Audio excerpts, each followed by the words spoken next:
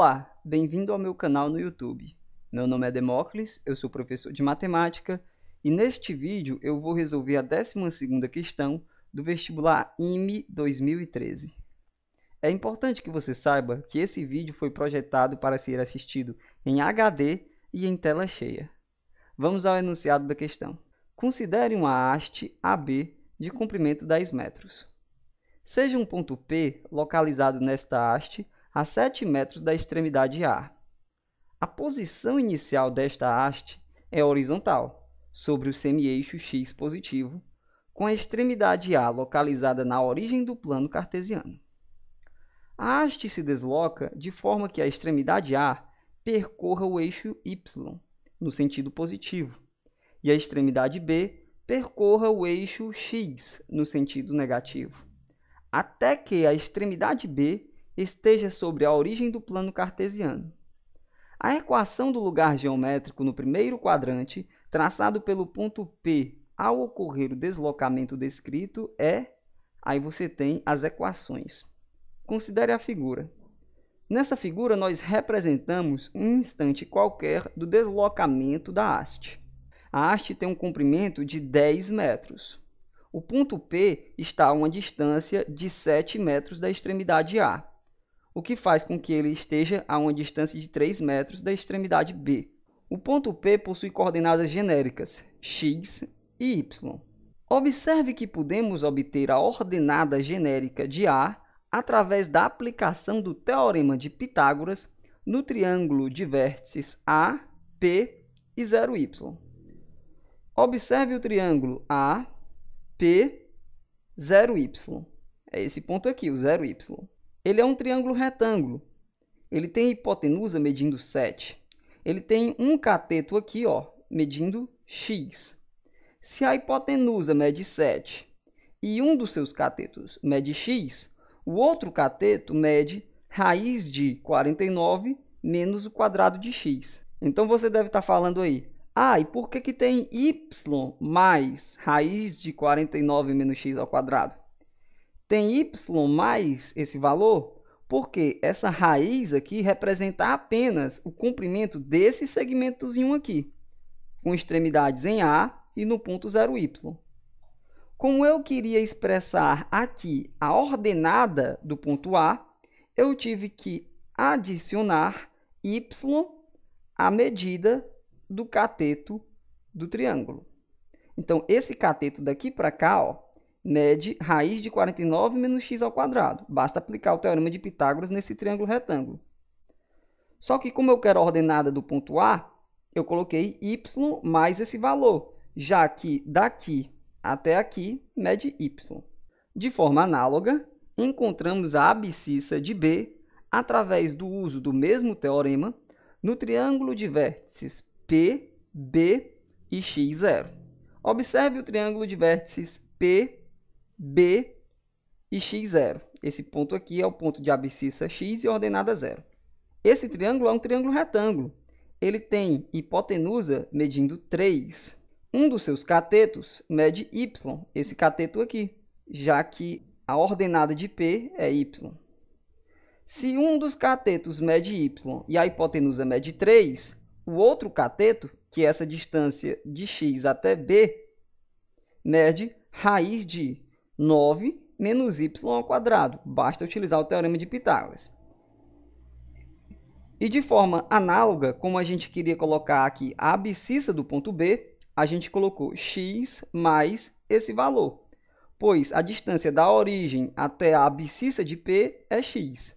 E a distância da abscissa de P até o ponto B é o cateto do triângulo, que é raiz de 9 menos y ao quadrado. Então, a gente adiciona esses dois valores para encontrar a abscissa do ponto B. Como esses dois triângulos são semelhantes, temos Repare que os dois triângulos retângulos são mesmo semelhantes, né?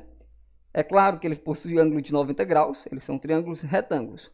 Mas os ângulos correspondentes também têm a mesma medida, devido ao fato do segmento P0y ser paralelo ao eixo horizontal e devido ao fato do segmento X0P ser paralelo ao eixo vertical. Então você tem esse ângulo igual a esse ângulo e esse ângulo aqui igual a esse ângulo aqui. Portanto, os dois triângulos são semelhantes. E a gente tem o seguinte: no triângulo grande, o cateto que fica em oposição a esse ângulozinho aqui, ó, é esse cateto aqui. E a gente já calculou que ele é raiz de 49 menos x ao quadrado. E o cateto que fica em oposição ao mesmo ângulo no triângulo pequeno é esse cateto aqui. E ele mede y. Portanto, você tem raiz de 49 menos x ao quadrado no grande e você tem y no pequeno.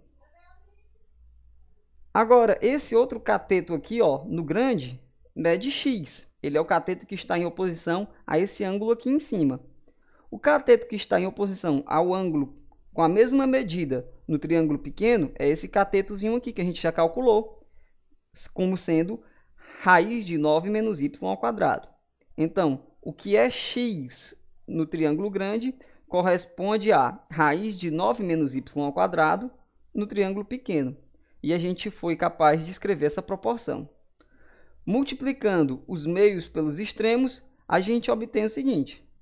Raiz de 49 menos x ao quadrado vezes raiz de 9 menos y ao quadrado está aqui. E x vezes y também está aqui. Elevando ao quadrado dos dois lados, nós temos essa expressão aqui, que é equivalente à anterior, pelas características do problema. Agora, realizando a distributividade, a gente tem 49 vezes 9, 441, menos x ao quadrado vezes 9, menos 9x ao quadrado. 49 vezes menos y ao quadrado, menos 49y ao quadrado. Menos x ao quadrado vezes menos y ao quadrado, menos com menos dá mais, você tem x ao quadrado. Que é bom, já que a gente pode cancelar essa parcela com essa outra que tem igualzinha do outro lado da igualdade, resultando apenas 9x ao quadrado mais 49y ao quadrado menos 441. Repare que eu cancelei esse cara com esse cara e o que sobrou foi multiplicado por menos 1. Por isso que você tem aqui, ó, em vez de menos 9x ao quadrado, apenas 9x ao quadrado. Em vez de menos 49y ao quadrado, mais 49y ao quadrado. Ao invés de 441 positivo, você tem menos 441. Nós multiplicamos por menos 1 sem medo, porque quando a gente cancelou esse cara com esse cara, do lado direito da igualdade sobrou zero. E 0 vezes menos 1 continua sendo zero. Então, a equação que descreve o deslocamento do ponto P em função da sua abscissa x e de sua ordenada y é essa daqui. 9x ao quadrado mais 49y ao quadrado menos 441 igual a zero. O item correto é o item C. Observe aqui no GeoGebra uma animação que eu fiz para descrever a situação do problema. Você tem aqui a haste AB localizada na sua posição inicial, ou seja, com a extremidade A na origem do plano cartesiano e a extremidade B 10 metros depois na horizontal. O ponto P foi fixado a 7 metros de distância do ponto A e a 3 metros de distância do ponto B.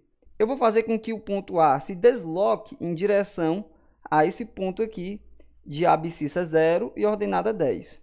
Ao mesmo tempo, o ponto B vai se deslocar em direção à origem do plano cartesiano. Repare que à medida que a haste vai se deslocando, o ponto P descreve um arco aqui da elipse. Veja.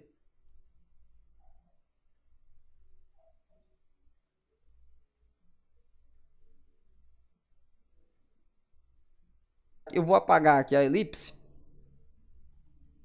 e vou habilitar o rastro do ponto P. Veja que à medida que o deslocamento vai acontecendo, o ponto P descreve um arco de elipse.